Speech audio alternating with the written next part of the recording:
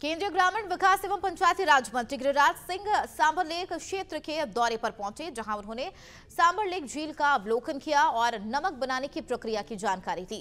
केंद्रीय मंत्री गिरिराज सिंह के सांबर पहुँचने पर पूर्व विधायक निर्मल कुमावत के नेतृत्व में बीजेपी कार्यकर्ताओं ने जोरदार स्वागत किया। मंत्री गिरिराज सिंह ने सांभर सॉल्ट के सर्किट हाउस में अधिकारियों से मिलकर नमक बनाने की प्रक्रिया और गुणवत्ता के बारे में जानकारी दी। केंद्रीय मंत्री ने कहा कि हमारा मिशन नमक आधारित आय के अवसर तलाश कर स्वयं सहायता समूह से जुड़ी महिलाओं के लिए आर्थिक अवसरों को बढ़ाना है। है मैं रूरल डेवलपमेंट पंचायती राज मंत्री हूँ। और माननीय प्रधानमंत्री जी ने मुझे लाखपति दीदी बनाने का जिम्मा दिया है दस करोड़ महिलाओं को देश में। दस करोड़ हमारी महिला हैं जो फ़र्स्ट फ़ेज़ में हम लाखपति बनाने का एक लिमिट दो ढाई करोड़ का रखा है।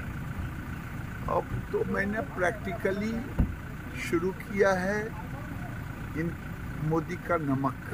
ये नमक ले जा रहा है। यहाँ से अभी मैं शुरू किया बेगूसराय में इनके यहाँ से नमक ले जा रहा हूँ। क्योंकि ये जो दस करोड़ दीदी हैं नमक तेल हल्दी न्यूनतम नमक कहाँ से लेते? बाज़ार से लेते। बाज़ार से लेते तो साधारण नमक भी बीस रुपए में मिलते।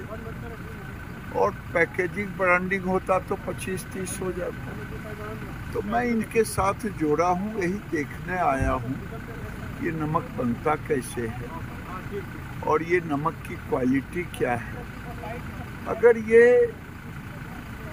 ठीक ठाक अभी दो तीन खेप 600 टन ऑलरेडी जा चुका है तो ये जब ये लोग एक्सेप्ट करेंगे तो मैं देश में जो हमारी दस करोड़ बहनें हैं, उसको कैसे गवर्नमेंट की संस्था है, भारत सरकार की संस्था है तो संस्था टू संस्था कैसे जोड़ पाएँ, ये एक मेरा पहला उद्देश्य।